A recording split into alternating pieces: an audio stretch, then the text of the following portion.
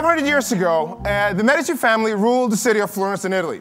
Now, uh, they did a lot of things during their rule, right? Like they assassinated people and poisoned them. I'm not recommending that as your major MO uh, for innovation, but they also did something else. They sponsored highly creative individuals sculptors, architects, philosophers, painters, Leonardo da Vinci, Michelangelo, from all over Europe, even as far away as from China. And they brought them to the city of Florence, where they were able to break down the boundaries between the different disciplines, between the different cultures, and ignite what became one of the most creative eras in Europe's history, the Renaissance. This is not about the Renaissance or the Medici family, but it is about the effect that they created and how we can all create the same effect for in our own lives, in our own companies, for the clients that we serve, and let me just very quickly outline the basic idea around this. The very, very basic idea. There's a lot that we can talk about here, but the very basic idea. The basic idea says that if you want to combine a concept, something like a bikini, for instance, with something like a sandy beach, well, then you're barking up the wrong tree because basically you're not going to be flabbergasted by the innovative potential that this combination offers.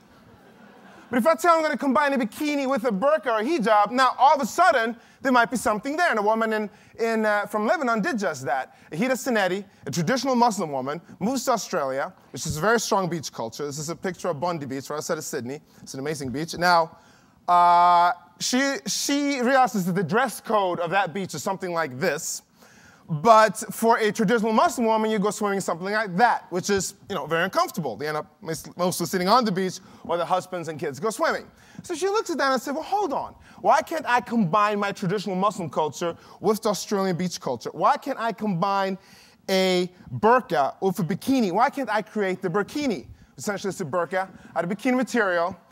You might just take one guess at how large the market for this would be. It's actually, her company has grown by leaps and bounds all over the world just as a little side note, you know what?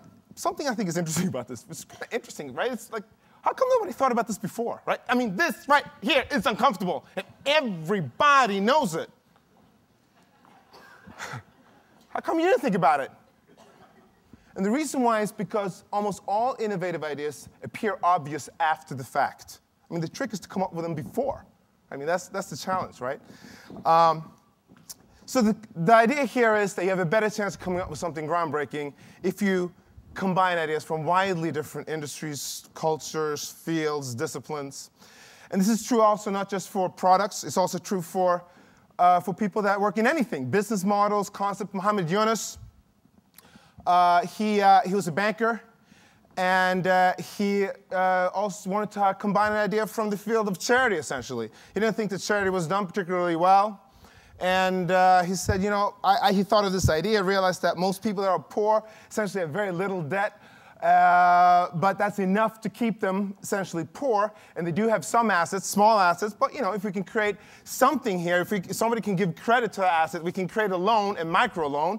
And he actually managed to accomplish this. It was very successful, became a, a, uh, a Nobel laureate. He got the Peace Prize. You know, this is amazing. And we can look at this guy and we can say, what a visionary. I mean, okay, look, I'm changing the world here in a small, small, tiny way, but but that's that's huge. Could I even could I could I come up with something like that? Might be the question we ask ourselves. Is that even possible? I mean, how brilliant is this guy? He got a Nobel Prize in Peace, and he made this connection. Let's, let's, let's examine his brilliance here for a second. So he, he comes up with this idea, and he then decides to execute it. Right? And he's pretty sure that he knows what to do he, he decides he's going to try to convince banks to use his microloan idea. Well, they didn't want to play. That failed. Okay. All right, so then he goes and says, you know what, I'm going to actually use my own assets to back these loans. But obviously can't get any volume. That's a losing idea. All right, now he goes back to the banks and says, you know what, why don't we try this on an experimental basis? What do you think they said? We don't dare. You know, we're too small. Like, it get real risky on our side. Obviously, that was a joke, but um, he couldn't move it. So then he goes to international foundations and asks them for money. He gets some success there. And finally, he realizes that the key for this is to make it into a company mostly owned by its customers. Great success leads to the growth of the whole industry. This is, the this is actually a not uncommon path for almost any breakthrough idea. When we look at the idea, we look at it and we, we, make, we might make an assumption that the person behind it was brilliant. But actually, when you look at how the person made the idea happen, it was really about taking risks and having lots of failures. This is tied, and of course, some inspiration here could be good. I'm just going to put that out there. Even if there are difficulties, there's a key rule in this, and that is that um, if you're going through hell, uh, keep going, uh, basically. you don't get stuck there. Uh, but uh, you have to have the perseverance to push through the way Mabillionis did. But let's examine why that is the case. Why is this the case? And why is it the case for every single innovator out there? It boils down to another basic fact for innovation, which is that groundbreaking innovators generate and execute far more ideas. Research has shown that the single strongest correlation to innovative success, any category, anywhere, artists, scientists, entrepreneurs, policymakers, musicians, are the number of ideas they came up with and then try to make happen. You see this over and over again. Picasso made 20,000 works of art in his lifetime. Einstein published 240 papers. Google has made hundreds of products. You see this relationship over and over again. Coming up with many ideas allows you to come up with a great one, but you're not actually sure if that's going to work, so you have to execute, execute many of those in turn. The reason why we see this relationship is because of a fundamental flaw within humans when it comes to creative and innovative ideas, which is we are not particularly good at predicting what's going to work or not work, right? Because if we were, we would never ever try ideas that don't work. And we try ideas that don't work all the time. And we can blame the reasons for why they fail. Oh my God, there's a million reasons, right? You could have thought about something, you didn't share with anybody, failed. You share with somebody, the person doesn't like it, failed. The person loves it, now the committee hates it. The committee loves it, but the idea is no good. The idea is fantastic, but the customer doesn't like it.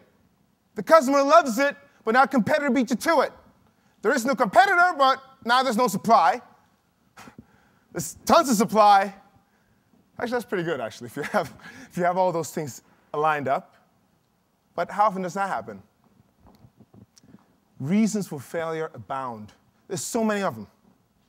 And that's why we see this relationship. If you want to come up with something that can give great brand equity or great profit margin or incredible market share, you have to keep on trying. You have to keep on trying. Um, and of course, we see these, the remarkable side piece around this is that innovative people tend to fail a lot more than people that don't innovate, right? Picasso made 20,000 works of art, yes, but most of those are collecting dusts in basements around the world. Do you know why? Because they suck. Einstein wrote papers that no one referenced. Zero citations. Einstein! Entrepreneurs come up with awesome companies, and then they come up with companies that fail. Movie directors come up with ideas that we think, they're, we think these the directors are, are, are visionaries, and then they, then they come up with some, some, something really just really weird. I mean, did anybody see The Happening? This is I mean, this was made by the guy that made The Sixth Sense. This is an amazing movie. Okay, now, uh, oh, by the way, this is not the way the stories are told to us, though, when we read books or magazines. Uh, when we read books or magazines, the way a story is told is that we have a visionary, we have a smart person, we have somebody that just saw the future and was able to stake out the way to capture that future, right? Jim Wales, he comes up with an idea. He's gonna build an online encyclopedia, and he's gonna use the power of the web to do it. This is brilliant. He calls it Nupedia. The way it works is he's going to contact experts and they're going to write entries and put it online. And after six months, he had 20 entries. He said, okay, well, you know what? I got to change this. I have okay, so what should I? Well, what if I just open it up and people can sort of put in entries just as they wish? Are you crazy? All right, so obviously you know what this company is called. You use it probably every single day. Does the fact that he didn't think of this first diminish his brilliance? Absolutely not. All people that we call brilliant today went through an enormous amount of failures to get to where they are. It's just that when we write books or when we, when we read articles, when we tell stories to, our, to each other about what it was that happened, we want to find some sort of pathway that we ourselves can follow. Okay, so that's a good question then. How, how do we, what type of pathway should we follow? Um, and, uh, and so let me, let me outline how usually an idea gets executed. So here's how what happens. We get an idea, and we try to find a direction for that idea, and then we select something. We say, this is a good way to do it. Let's do it this way. And we set up a goal. It's going to be a big goal. Let's go for, let's go for, let's go for this, and let's make it, let's make it visionary. Let's make it big, and then we shoot for that. Great. And here's some resources, and in this case, resources might be money, but it could also be, uh, it could also be a reputation. Oftentimes, actually, it is reputation that you're using when you pursue an idea. And we get there, and then when we get there, we realize that was the wrong goal. Actually, this doesn't work. Instead, we should have been over here. But you know what? We now have no resources to get there. In fact, the best move would have been to go there from the beginning. Oh my God, we're screwed. Uh, so I'm going to get back to our graph in just a second. Let me just first uh, impress upon you a, a particular picture from Jukkasjärvi in northern Sweden. Okay, this is pretty much all that exists in this area. And this guy says, you know what, this would be a great place, great place to make a major Swedish tourist destination. And he actually does it by combining ice with the concept of a hotel. Have any of you been to an ice hotel? It's a few of you, right? It's a really remarkable concept. Everything in an ice hotel is made out of ice. The beds you sleep on, the glass you drink of. Some of you have seen milder versions of this through ice bars around the world. But here, everything is made out of ice. And this was a success. It is Sweden's largest tourist attraction. The reason, the, the thing that limits the growth in Jukkasjärvi is because we don't have enough planes to fly tourists there. Okay, now, and people look at that and go, oh my God, this is fantastic. Look, economic development. We should do something like that. We should create something, maybe not an ice hotel, maybe it's a sand hotel, maybe it's a, maybe it's a palm hotel. But, but we, should, we should create something like that. This is visionary. Really? Is this how it actually happened? So, so let's, let's look at how this guy did it. He got an idea to sell the winter. This was his concept. And he decides that he wants to create something called an ice, ice exhibit, where you basically have sculptures out of ice and people can go and look at them. He thinks, that's a, he thinks people want to see that. But he does not decide to put everything behind it.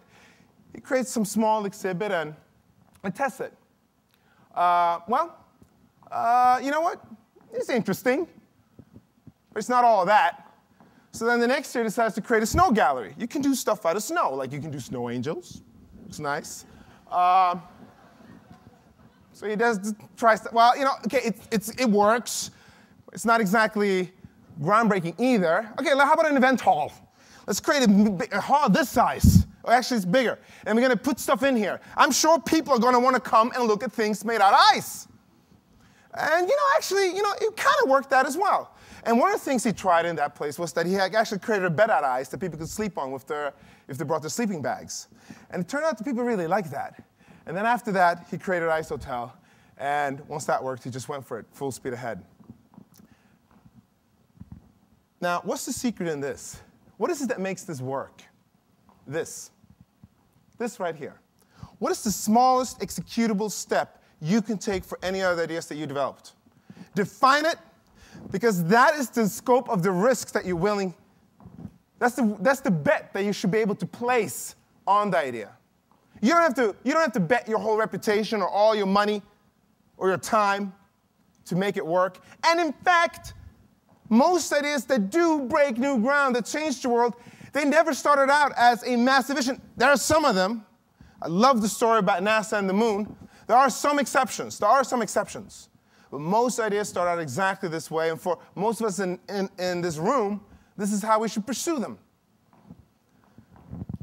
Now, that opens up another question though. What's the point of strategy? Like, if you could try something you don't know if it's going to work, why, why would you even sit down to develop a strategy, right? Because, I mean, you can, you can spend time and you come up with something and then you, then you try it and, well, it doesn't work. Um, and so uh, I'm going to argue that strategy actually is very important, but for a reason that usually is different from what people are stating. I believe if you're doing something that is a well-known process, if you've done it before, the strategy might matter and tactics might matter, right? If you're going to McDonald's, you order a Big Mac, you get a quarter pounder, you know, there's nothing innovative about, about that. This, that is just a plain old failure. You can, you can play on processes and tactics and strategies to make that work. But if you're trying something innovative, you're trying something new, then the purpose of a strategy is to convince yourself that it's going to work. And there's lots of different ways we convince ourselves. Maybe we do it intellectually. We want to we wanna at least look at some numbers to convince ourselves that this is the right path. Or maybe we're more emotional. We want to get a gut feel for what's going to work. I don't care. Whatever works for you. Whatever works for you, but then you can come up with a strategy, and maybe if it's a good strategy, you can convince others around it. So maybe you can free up some money to pursue this idea. But the purpose of a strategy is not to come up with something that's going to carry you all the way forward, and it's not to come up with the right answer. Because there's no one right answer. The purpose of strategy is to enable you to act. Convince yourself that you figured it out and you're going to move. Is it the right way or not? Pro- absolutely not. It's not going to be the right answer. There's no way that that is the case. But it doesn't matter because you have to start acting. And whatever it is that you need to do to convince yourself to act, that's the purpose of strategy. You got to get something done. And I love this quote by the CEO uh, of uh, Southwest Airlines, um, the former CEO, is the founder as well, the Herb Kelleher. We have a strategic plan. It's called doing things. but it shows essentially how he approaches the idea of over, basically, he hates over analytics. There's certain things they can analyze. Those are the things they have a lot of numbers for. They're things they've done in the past. But if you're going to try something new, you just got to try it. And it either works or it doesn't work.